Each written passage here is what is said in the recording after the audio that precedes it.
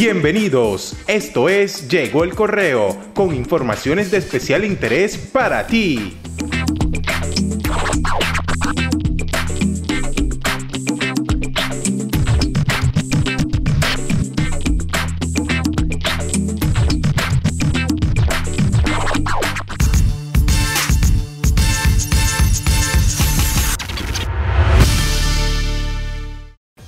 Un saludo a toda la audiencia de Llegó el Correo. En esta ocasión mm, quiero comentar sobre el Correo Curioso número 66 que saldrá en las próximas semanas. Eh, porque realmente creo que el editorial que presenta esta publicación en esta ocasión amerita eh, ser leído concientizado, estudiado y debatido sobre los aspectos que allí se tratan.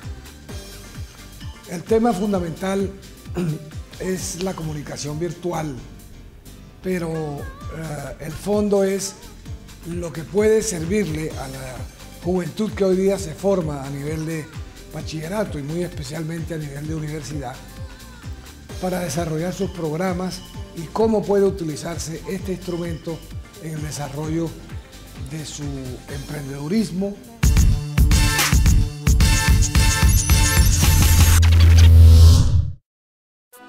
La Noche de los Mejores es el evento que semestralmente la Dirección de los Programas de Comunicación Social, Publicidad y Producción de Radio y Televisión de la Universidad Jorge Tadeo Lozano, seccional Caribe, realiza para homenajear a los estudiantes que se destacan por sus promedios mayores o iguales a 4.3 y para resaltar su excelente comportamiento. Asimismo, se premió a los profesores que resultaron mejor evaluados por los estudiantes.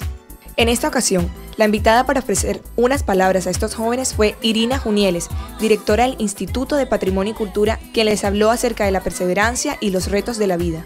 Los jóvenes y en general los ciudadanos, las ciudadanas, tienen que ser conscientes que desempeñan un papel histórico en el mundo, que no están al azar aquí, sino que hacen parte de una sociedad y que en consecuencia tienen unos compromisos con esa sociedad. Algunos de los estudiantes ganadores de la beca a la excelencia compartieron su experiencia con Llegó el Correo. Es la satisfacción de saber de como que el trabajo que estuvo bien hecho en todo el semestre y la dedicación que le metí a cada trabajo que hacía. Yo me, me, dediqué, di todo mi esfuerzo y esencialmente amor a la carrera, por eso es que me fue bien.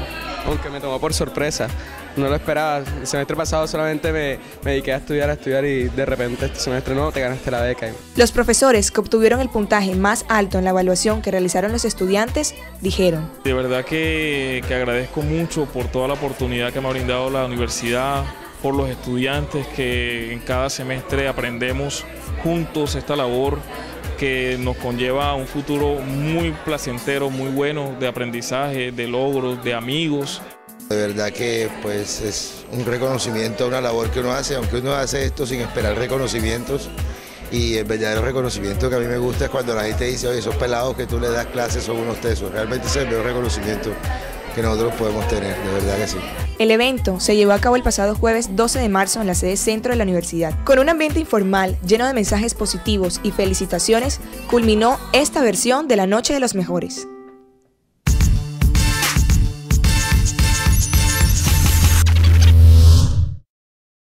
Bebidas, cigarrillos, salud, belleza, ropa y textiles fueron los elementos más sobresalientes de los 128 avisos que se presentaron en la exposición Una mirada al pasado, el aviso de prensa ilustrado en Cartagena de Indias. La apertura se dio el pasado 17 de febrero en el Museo Histórico de esta ciudad, Palacio de la Inquisición. Una mirada al pasado es, digamos que un viaje nostálgico que pueden hacer los cartageneros viendo estos avisos de prensa de los años 40, 50 y 60. Eh, y la idea principalmente es que podemos reencontrarnos con nuestra historia, podemos construir historia a partir de lo visual y eso nos permite a nosotros los diseñadores gráficos, digamos que eh, aportar a, a la ciudad, al desarrollo de la ciudad. Figuras locales como Rafael Vergara, Oscar Collazos, entre otros, también estuvieron presentes en la exposición. Muy interesante, realmente vale la pena que, que todo ciudadano que tenga la posibilidad venga y vea este tipo de, de actividades, más en este tiempo de bicentenario. Bueno, la exposición está excelente. Eh, me recuerda años pasados, años en que veíamos esos periódicos y sitios y lugares de Cartagena. Me ha recortado hasta sabores. El objetivo de esta exposición fue reencontrarnos con nuestra historia del saber cómo se ilustraba en la década de los años 40 y 60.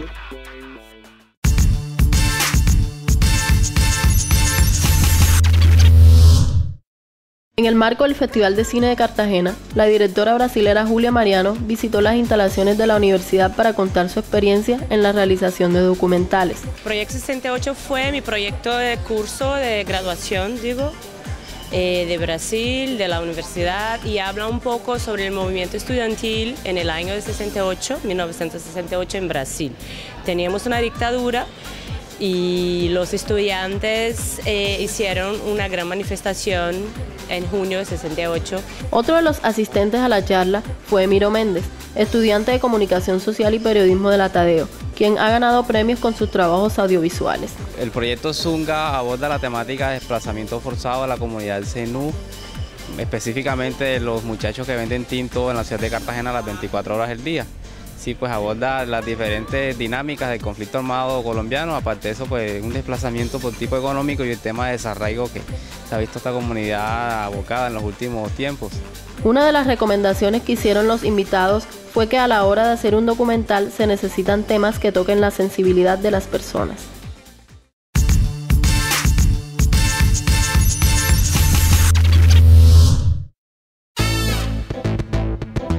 Llegó el Correo, yo soy Lewis Bonfante Casanova y me encuentro en la sede centro de nuestra universidad, donde se realiza el undécimo concurso de videos para nuevos creadores en el marco del Festival de Cine de Cartagena. Así que los invito a acompañarme y recuerda que esto es Llegó el Correo.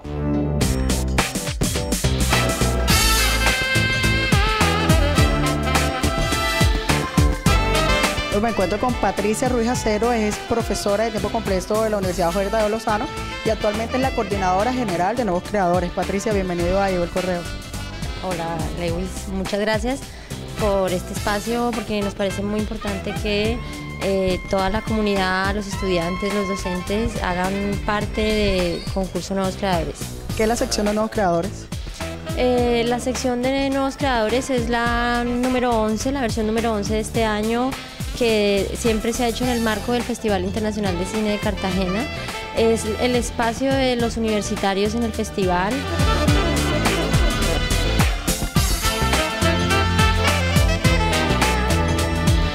¿Qué te motivó a venir a concursar en Nuevos Creadores?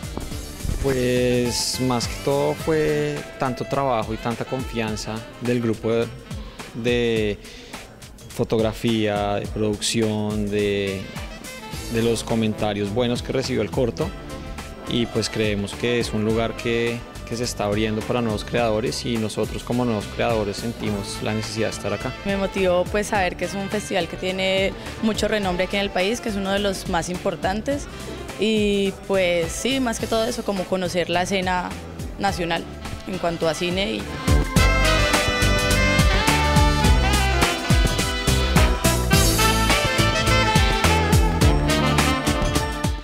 esto ha sido todo por hoy de la sede centro de nuestra universidad. Les recuerdo que todas las actividades de la Tadeo la encuentras primero aquí, al estilo Llegó el Correo. Hasta pronto.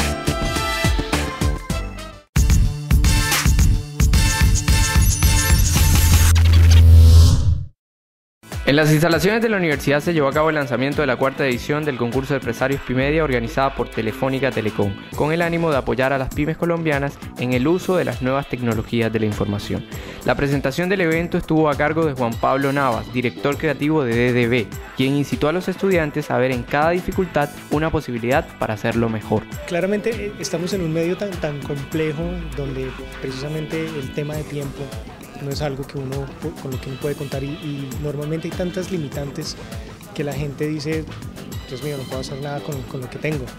Y claro, aquí er, cada, ejemplo era una solución, era una, forma de abrirle los ojos y decirles, miren desde un encabezado que no es así, imposible, ¿qué voy a poder hacer? Mostrarles, no vean que sí se puede, sí, sí es posible llegar a una solución y una solución buena.